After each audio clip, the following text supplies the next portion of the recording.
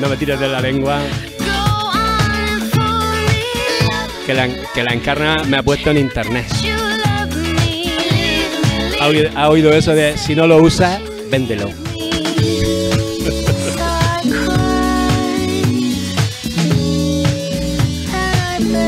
Y creo que me ha puesto en, en.